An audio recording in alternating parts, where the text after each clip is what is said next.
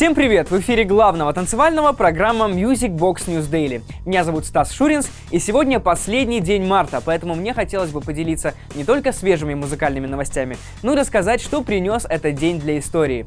Так, 31 марта в 1889 году была впервые открыта Эйфелева башня, а в 1901 мир впервые увидел Mercedes-Benz.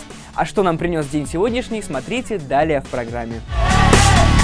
Кристина Агилера ожидает второго ребенка. Именно этим заголовком пестрят все крупнейшие мировые новостные издания. Певица поделилась своей радостью во время концерта в Малайзии. Стоит отметить, что концерт обладательницы пяти премий Грэмми находился под угрозой срыва, и до последней минуты никто из собравшихся поклонников не мог с полной уверенностью сказать, что звезда все же появится на сцене. Дело в том, что в связи с национальным трауром в Малайзии все развлекательные мероприятия были отменены. Одним из таких мероприятий мероприятий должен был стать грандиозный музыкальный фестиваль Twin Towers Alive, ежегодно проходящий в Куала-Лумпур. Официальный спонсор концерта, в котором помимо Кристины должны были принять участие и другие громкие имена, объявил о своем решении, что, впрочем, не остановило Агилеру. Ее выступление перенеслось в концертный зал одной из местных гостиниц. Именно там Кристина исполнила свои лучшие хиты. А во время перерыва во всеуслышание заявила о том, что это первое шоу для ее будущей дочки. Недвусмысленно нежно погладив округлившийся живот. Напомним, что в мае Кристина также выступит на двух других крупных фестивалях, а также, по слухам, выпустит сборник музыкальных композиций любовной тематики.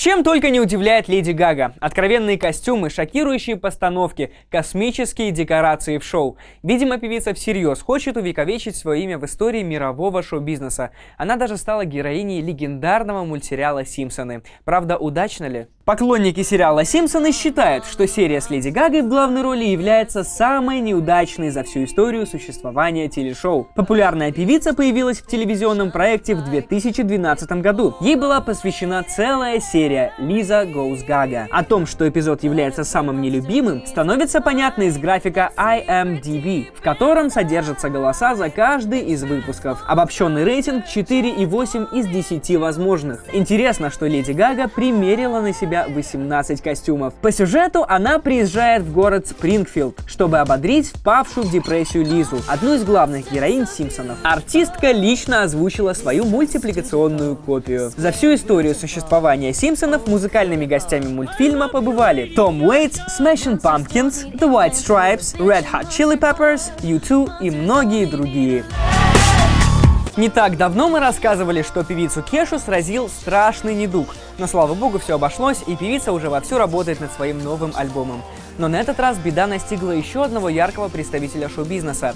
Шведский диджей Авичи оказался на операционном столе. Что же случилось, смотрите далее в программе. На прошлой неделе Авичи отменил концерты в США. Сразу несколько изданий сообщили, что популярного диджея госпитализировали в одну из больниц Майами. При этом никаких официальных заявлений от представителей музыканта долгое время не поступало. Как оказалось, Авичи была проведена операция на желчный пузырь. В данный момент шведский диджей восстанавливает силы после хирургического вмешательства под присмотром врачей в одном из госпиталей. Это рутинная процедура, и все идет хорошо. Я планирую полностью выздороветь и поставить себя на ноги перед американским отделением True Tour, написал 24-летний музыкант в Твиттере. Большое вам спасибо за всю заботу, это многое для меня значит, добавил артист. Отметим, что в данный момент у Авичи плотный график. Помимо постоянных гастролей, он также работает над новой пластинкой Мадонны.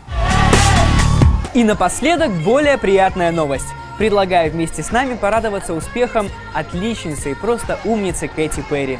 Певица вновь достигла отличных результатов благодаря своему творчеству. Кэти Перри продолжает оставаться одной из самых популярных певиц последних нескольких лет и только закрепляет свой успех. Как стало известно, ее последний сингл Dark Horse получил четвертую платину в США. Это означает, что тираж третьего промо-релиза в поддержку альбома Prism был распродан в количестве более 4 миллионов копий. За свою карьеру это уже восьмая композиция, которая смогла добиться такой отметки в Соединенных Штатах. Интересно, что за всю историю подсчетов ни один другой артист подобным достижением похвастаться не может. Тем временем видеоклип на трек Roar недавно перешагнул барьер в 438 миллионов просмотров. Именно благодаря этому показателю ролик теперь считается самым популярным у Кэти Перри на портале YouTube.